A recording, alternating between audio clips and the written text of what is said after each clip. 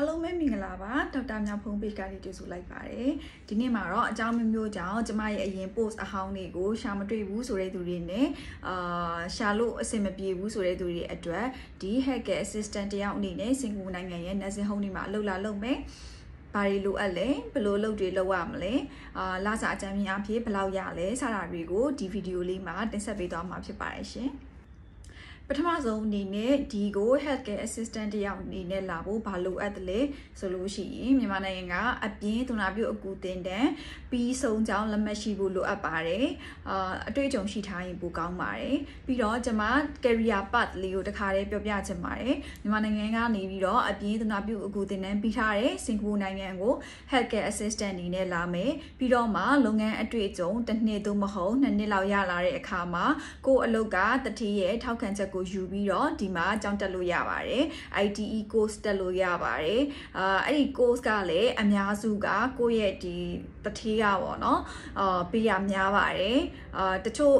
home တွေကအာဘွန်ထိုးခိုင်းပါတယ်ငါနင်းကိုဒီတင်တဲ့ဒီကြောင်းထားပေးမယ်ပြီးရင်နင် promotion ရမယ်ဒါပေမဲ့နင်ကဒီမှာဘယ်နှစ်နှစ်အလုပ်လုပ်ပေးရမယ်စသဖြင့်ဘွန်ထိုးခိုင်းတတ်ပါတယ်တချို့ကလည်းဘွန်မထိုးခိုင်းပါဘူးဒါအလုပ်တနေရာနဲ့တနေရာတော့ကွာခြားမှုရှိနိုင်ပါတယ်အားကြောင့်မလို့ဒီ ACA နဲ့လာတဲ့အတွေ့အကြုံယူတယ်ပြီးရင် ITE မှာကျောင်းတက်မယ်အဲ့ဒီကနေစာမွေးအောင်သွားပြီဆိုလို့ရှိရင်တော့ NAS 8အနေနဲ့ယာတူတိုးပြီးတော့ဒီမှာ NAS 8လုပ်လို့ရပါပြီဒါကတော့သူရဲ့ career path လေးပါဟုတ်ကဲ့ hacker assistant တယောက်အနေနဲ့တနေ့တာဘလို့ daily routine တွေလုပ်ရလဲဆိုတော့ကျွန်မစပြီးပြောပြပေးပါမယ်ပထမဆုံးအနေနဲ့ hacker assistant အနေနဲ့ဆိုလို့ရှိရင် assistant in bathing လူနာတွေကိုရေချိုးတဲ့အခါမှာကူရပါတယ်ဒီယောက်ျားလေးဖြစ်ဖြစ်မိန်းမမိန်းကလေးဖြစ်ဖြစ် ဒီလူနာတွေကိုရေချိုးတဲ့အခါမှာဒီလူနာကတင်ကနေပြီးတော့ဒီကမုတ်ပေါ်ကိုတည်တဲ့အခါမှာ ကူရပါတယ်ပြီးလို့ရှိရင်အာဒီ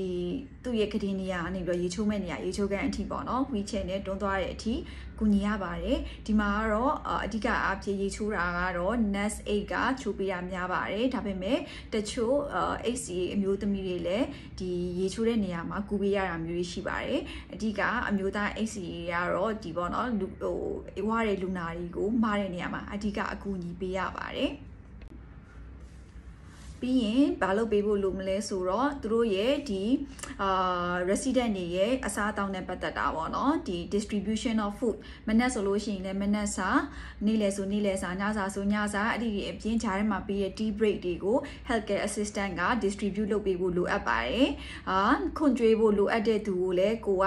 ဒီ assistant feeding ပေးတတ်ဖို့လိုအပ်ပါတယ်အာပြီးတော့သူ့ရဲ့သူဘာစားတက်တယ်ဘယ်လို diet ရှိရဲဆိုတာကိုလည်းကိုကတည်တည်ချာချာလေးသိရပါမယ်မသိလို့ရှိရင်ကိုရဲ့ nurse နဲ့ confirm လုပ်ရပါမယ်ဒီမှာဆိုလို့ရှိရင်အဓိကအဖြစ် food diet ရှိတယ်ဒါထမင်းစားတဲ့သူပေါ့နော် soft diet ဆန်ပြုတ်စားတဲ့သူရှိတယ် blended လုံးဝကိုဒီ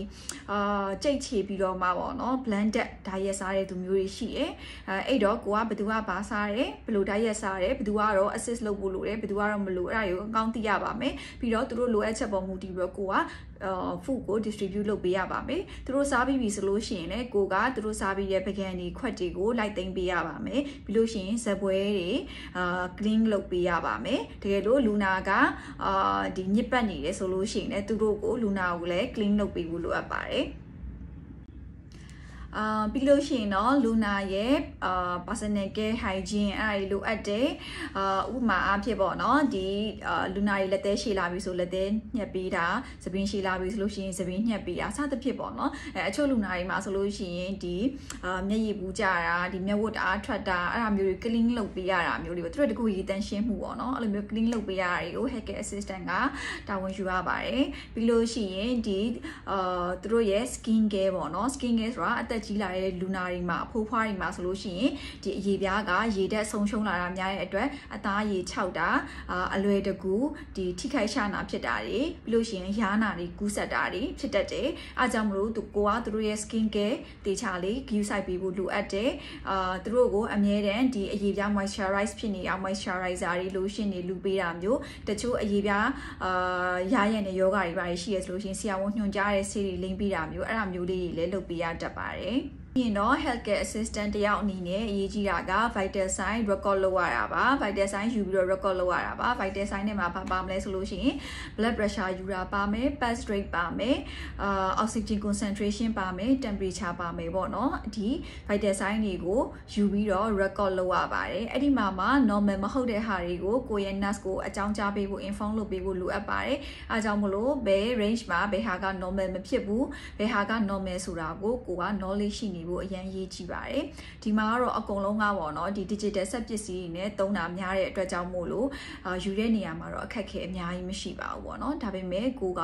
ဒါဟာ normal range ဖြစ်ရလားဒါမှမဟုတ်ဆက်ရဲ့ error ရှိနေလို့ abnormal ဖြစ်နေရလားစသဖြင့်ဝေဖန်ပိုင်းခြားနိုင်တဲ့ knowledge ရောရှိဖို့လိုအပ်ပါတယ်တကယ်လို့ normal မဟုတ်ဘူးဆိုလို့ရှိရင်လည်းချက်ချင်းကိုရဲ့ nurse ကို inform လုပ်ဖို့အရေးကြီးပါတယ်အာပြီးတော့အဓိကအရေးကြီးတာကဒီကလူနာတွေကအရာထဲလေးနဲ့လူနာတွေများတဲ့အတွက်ကြောင့်မို့လို့သူတို့က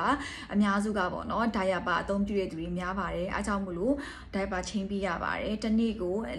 ၄၅ချိန်လောက်တော့ချင်းရပါတယ်ပေါ့နော်ဒီနိုင်ကြီးအလိုက်ပေါ့အဲအဲ့ခါဒီမှာလည်းဒိုင်ယာပါတေချာလေးချင်းတက်ဖို့လိုအပ်ပါတယ်တေချာလေးတန့်ရှည်ရေးလုပ်တတ်ဖို့လည်းလိုအပ်ပါတယ်ဒိုင်ယာပါချင်းတဲ့အချိန်မှာလည်းသူတို့ရဲ့ skin ကိုတေချာလေးကြည့်ဖို့လိုအပ်ပါတယ်ဒီအိပ်ရမှာလဲနေရကြတဲ့ခါကျတော့ pressure source တွေရှိလား back source တွေရှိလားတကယ်လို့ dressing လုပ်ထားရဲဆိုလို့ရှိရင်လည်းကိုချင်းနဲ့မှာ dressing တွေပြုတ်ထွက်သွားလားအဲဆိုလို့ရှိရင် nurse ကို inform မှုလုပ်မယ်စသဖြင့်အဲ့ဒါတွေလည်းတေချာလေး check လုပ်ဖို့လိုအပ်ပါတယ်။ um ပြီးရင်တော့ collect and dispose garbage ပေါ့နော်ဒီဝက်ထဲမှာရှိတဲ့စွန့်ပစ်တဲ့စွန့်ပစ်လိုက်တဲ့အမှိုက်ပစ္စည်းတွေအာခုနလိုမျိုး diaper chain တာနေပြီးတော့ထွက်လာတဲ့ use diaper တွေအဲ့ဒီအကုန်လုံးကိုတည်တည်ချာချာလေးစနစ်တကျစွန့်ပစ်တတ်ဖို့လိုအပ်ပါတယ်ဥပမာအာ diaper ဒီ soil diaper တွေဆိုလို့ရှိရင်ဒီကိုအိတ်အမဲတဲ့ထည့်ထည့်ပြီးလို့ရှိရင်အပေါ်မှာတေချာလေး knock လုပ်ပြီးမှအပြင်မှာတော့ပစ်ဖို့လိုအပ်ပါတယ်မဟုတ်လို့ရှိရင်ဒီအမှိုက်ပုံးတွေမှာပြန့်ကျဲနေပြီးတော့ပေါ့နော်အနံ့အသက်မကောင်းလူမြင်မကောင်းတဲ့အာဟာတွေဖြစ်လာနိုင်ပါတယ်ပေါ့နော်အဲ့တော့တည်တည်ချာချာလေးဒီအမှိုက်ပစ်တာအစားအာစနစ်တကျပစ်တတ်ဖို့လည်းလိုအပ်ပါတယ် um ပြီးတော့တချို့လူနာတွေမှာ medical appointment တွေရှိတတ်ပါတယ်ဟိုလူနာကဒီဆရာဝန်သွားကြည့်ဖို့ရက်ချင်းရှိတာတို့တောင်းလို့ရှိရင်ဆရာဝန် follow up ပြဖို့ရှိတာတို့ဆိုလို့ရှိရင် healthcare assistant တယောက်အနေနဲ့ပြင်သွားတော့မယ်ဒါမှမဟုတ်လို့ရှိရင်လည်းသူ family က visitation လာတာဒါမှမဟုတ် family ကအပြင်ကိုခေါ်သွားကျင်တာအဲ့လိုမျိုးတွေဆိုလို့ရှိရင်အကြီးကအာကြိုတင် inform လုပ်ထားရဲပေါ့နော်ကိုကသိပြီဆိုလို့ရှိရင်သူတို့မသွားခင်မှာလူနာကိုကောင်းကောင်းမွန်မွန်ပြင်ဆင်ထားပေးဖို့လိုအပ်ပါတယ်ဥမာ diaper ချိန်ထားပေးတာအာဒီလမ်းလျှောက်နိုင်တဲ့ဒါမှမဟုတ်လို့ရှိရင်လည်းဝီချက်ပေါ်ထိုင်နိုင်တဲ့သူမျိုးဆိုလို့ရှိရင်ဖက်နက်စီထားပေးတာသွားတူရှိရဲ့လူနာမျိုးဆိုလို့ရှိရင်သွားတူတက်ထားပေးတာအာအင်ကြီးအဝတ်စားကောင်းကောင်းမွန်မွန်လေးပြင်ဆင်ထားပေးတာစတာလေးလှုပ်ထားပေးဖို့ပြင်ဆင်ထားပေးဖို့လိုအပ်ပါတယ်တခါတလေမှာလည်းအာအပြင်မှာဒီ appointment သွားပြရတဲ့အခါပေါ့နော်ဆေးကန်တို့ဆရာဝန်တို့သွားပြရတဲ့အခါမှာလည်း nurse escort အနေနဲ့ပေါ့နော်အာဒီ healthcare assistant ကလိုက်ပေးရတာမျိုးလည်းရှိတတ်ပါတယ် အာပြီးရင်အချို့လူနာတွေမှာအာကျွန်မ page မှာ share လုပ်ထားပါတယ်ဒီအရာတွေလင်းနေတဲ့လူနာတွေများတဲ့အတွက်ကြောင့်မို့လို့ကြာလာလို့ရှိရင်လှုပ်ရှားမှုနည်းလာတဲ့အခါဒီခြေထောက်တွေလက်တွေကကွေးကောက်လာပြီးတော့ဆန့်လို့မရတော့တာမျိုးလုံးဝ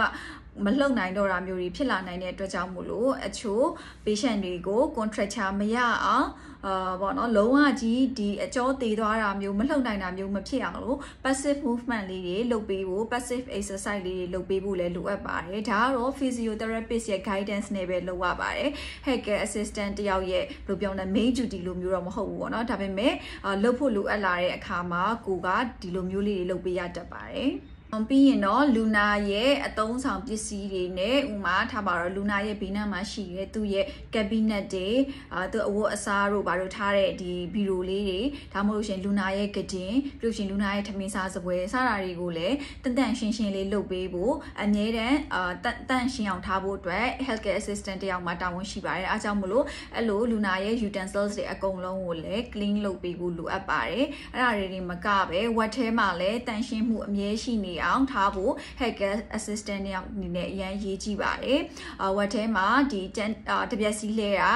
အာ mob တိုက်ရတာဒီ infection control လုပ်ရတာတွေကိုလည်း hacker assistant ကလုပ်ပေးရတတ်ပါတယ်အာပြီးလို့ရှိရင်ဒီလူနာတွေကိုပေါ့နော်အာ transfer လုပ်တဲ့ဟို body mechanics တွေကိုလည်းသိဖို့လိုပါတယ်ဘာကြောင့်လဲဆိုလူနာတွေအပြင်သွားဖို့ပဲဖြစ်ဖြစ်ဒီ daily routine လုပ်ဖို့ပဲဖြစ်ဖြစ်ဒီကတင်ကနေပြီးတော့ wheelchair wheelchair ကနေပြီးတော့ကတင်ပေါ်အာကတင်ကနေကမုတ်ကမုတ်ကနေကတင်ပေါ်စသဖြင့်အဲ့လိုမျိုး transfer လုပ်တဲ့အခါတွေမှာ body mechanic တွေကိုတေချာသိဖို့ transferring method တွေတေချာသိဖို့အတွက်လည်းလိုအပ်ပါတယ်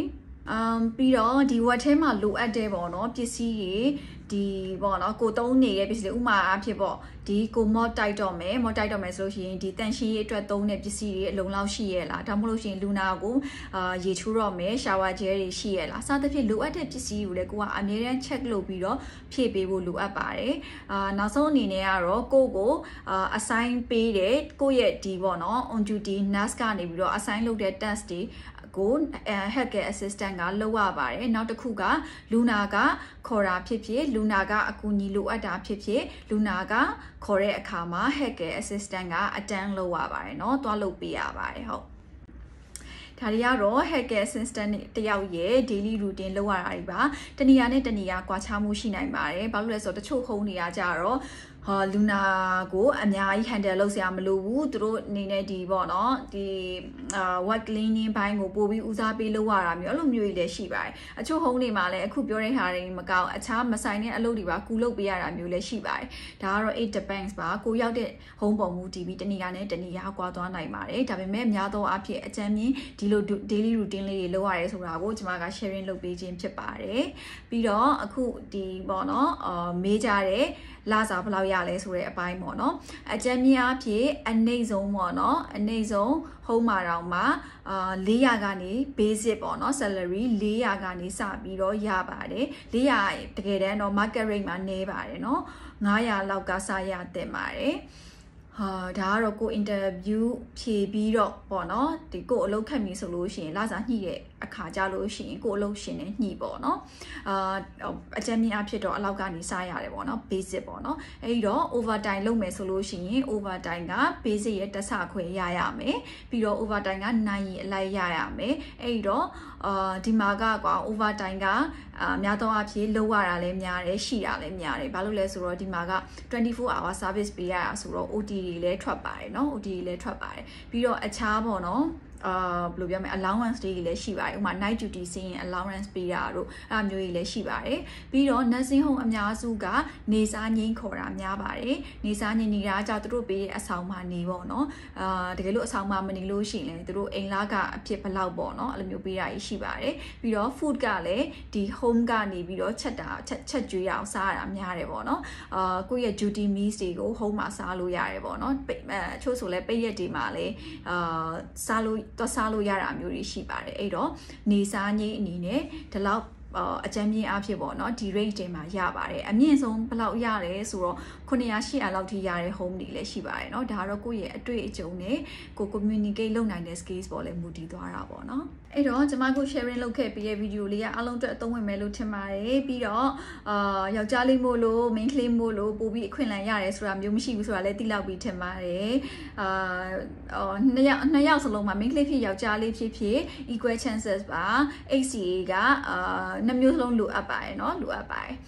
အာဒီဗီဒီယိုလေးကနေပြီးတော့အားလုံးအသုံးဝင်တဲ့ information လေးတွေရမယ်လို့မျှော်လင့်ပါတယ်ရှင်အဆုံးထိကြည့်ပေးကြတဲ့အတွက်ကျေးဇူးအများကြီးတင်ပါတယ်ကျမရဲ့ဗီဒီယိုလေးတွေကို YouTube channel မှာလည်း subscribe လုပ်ပြီးတော့ကြည့်လို့ရပါတယ်ရှင်အားလုံးတာယာရင်းနေ့ရက်လေးဖြစ်ပါစေရှင်